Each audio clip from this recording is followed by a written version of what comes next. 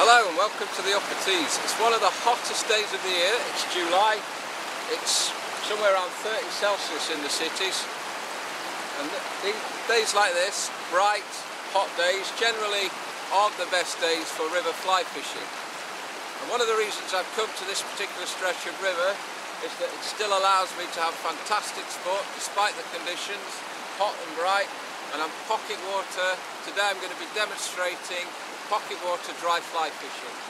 To do this, I've got a nice slice out, nice light outfit because the fish here are generally quite small.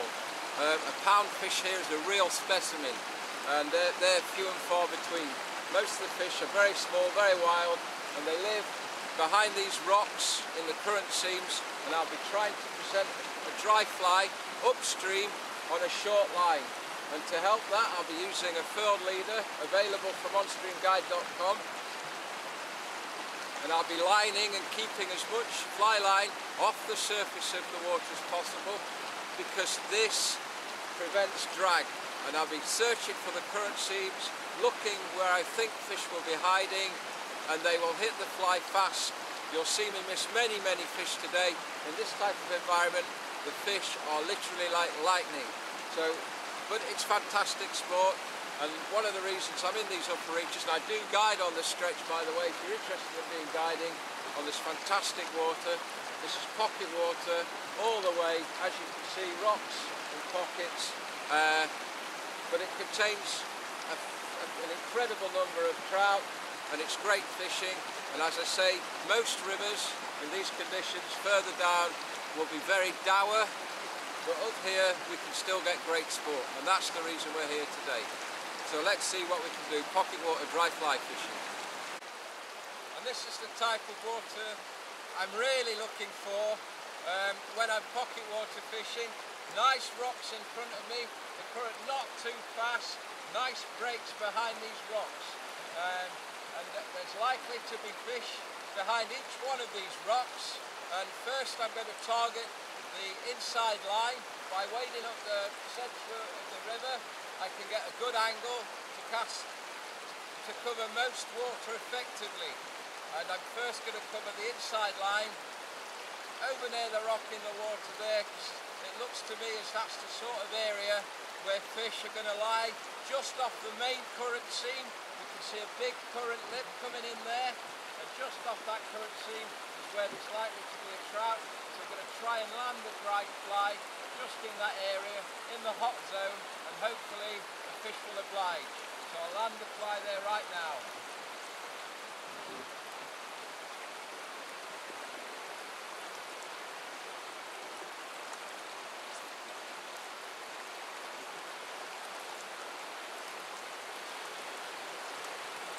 what this type of fishing is all about. Targeted dry fly fishing looking for areas that will hold fish. It's important that you cover the water. Oh, and there was a fish. Took the fly just as I lifted it. A little bit. Oh, there we go. Oh, and he's off. So right where I thought there'd be a fish next to that rock, there was a fish there, small fish, took the fly, and I missed him.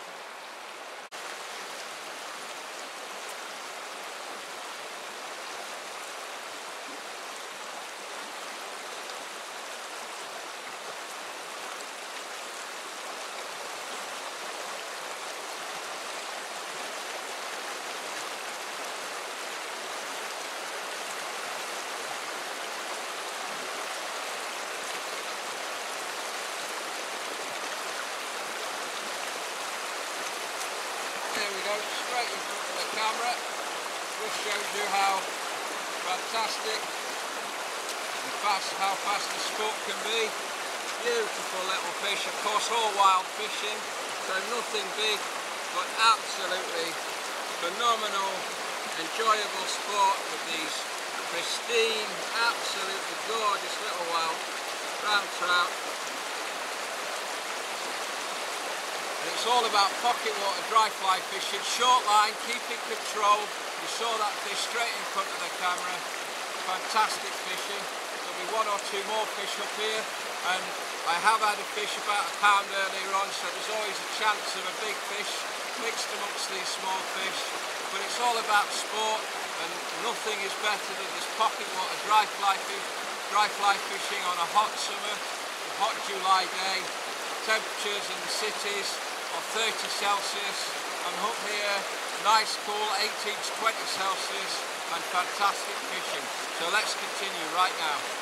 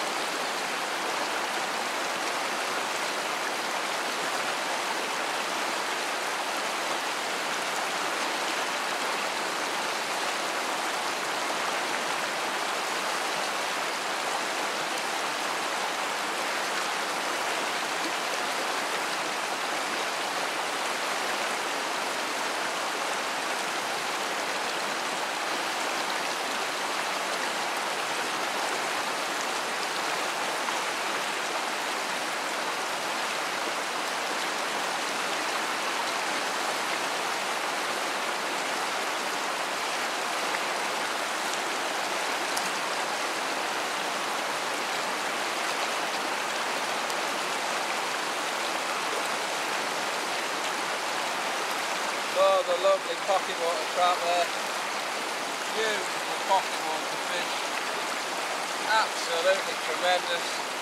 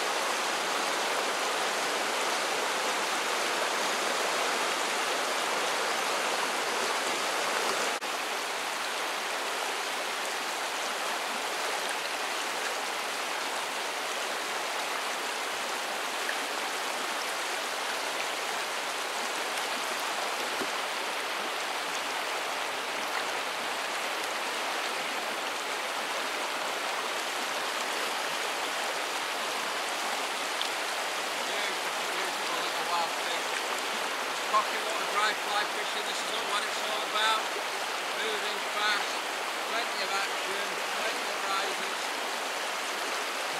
Tiny, beautiful little, perfectly formed, beautiful, beautiful wild trout. There's a bigger fish move there. This is all about pocket water dry fly fishing, catch, move, fantastic fishing.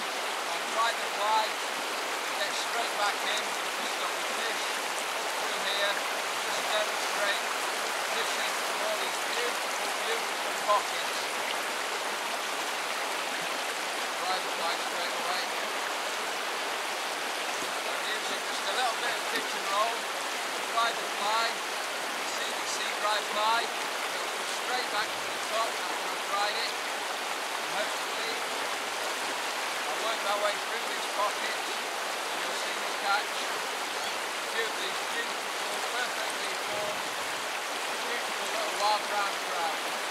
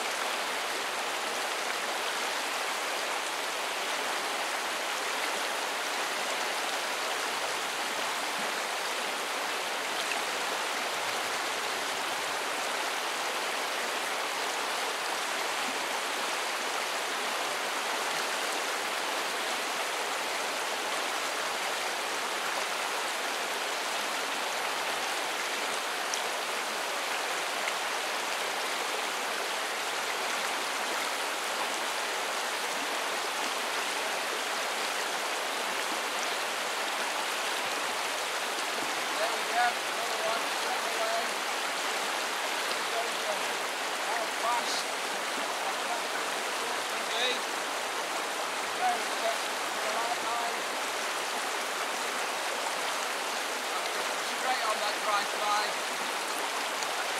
Pocket water dry fly fishing. Phenomenal fun. There's nothing better doing this on a hot, bright, summer's day. We're on the very, very upper reaches of the River Tees. This little spot ahead of me now is probably the sort of areas I'm really looking for. There are some nice rocks in the stream, but importantly, it's not breakneck fast. Uh, there are lots of nice current seams between the rocks where current seams join. These are hot spots for fish because the surface food, which is the predominant form of feeding, the main feeding mechanism in this type of upper reach river, the surface food is channeled between these rocks and along these current lines, so fish will wait, they'll lie in, in this type of area waiting for food to come down from on the current stream. So let's see how the fishing is.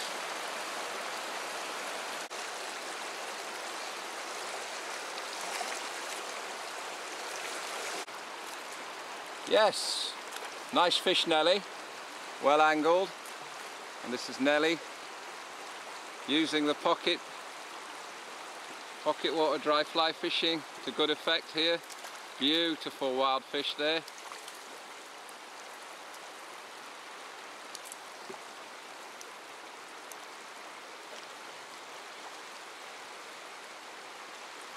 Well done Nelly. So Nelly's just been emulating what I've been doing earlier.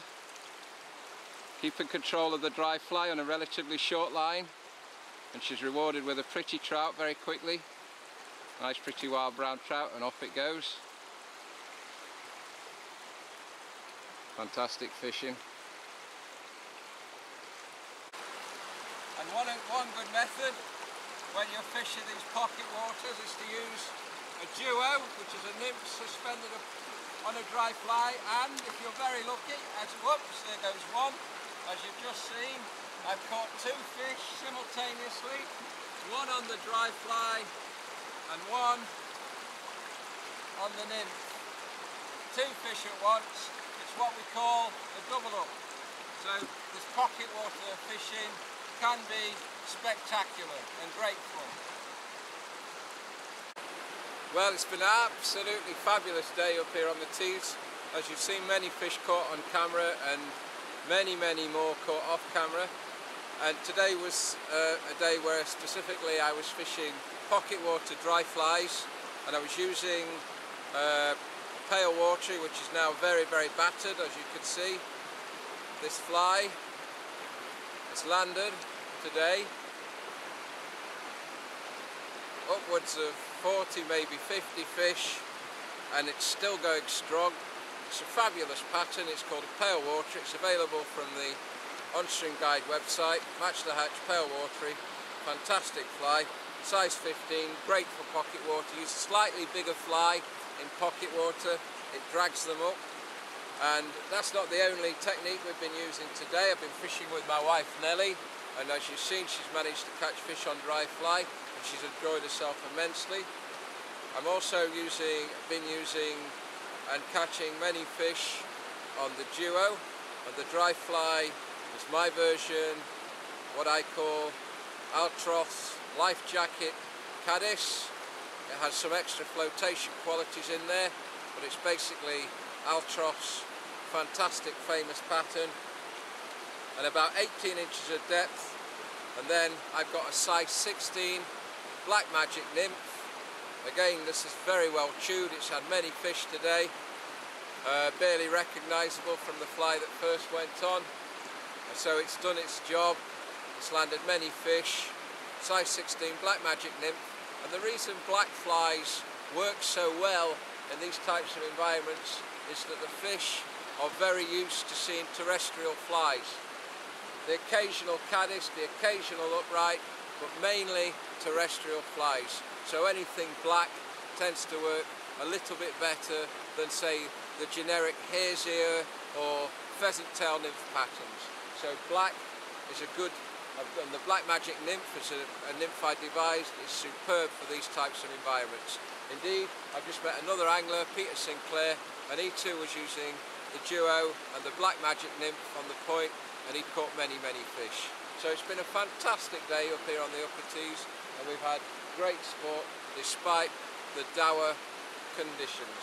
And if you'd like to be guided on the tees, I am available for guiding, so just get in touch via the onstreamguide.com website and I'll get back to you as soon as possible.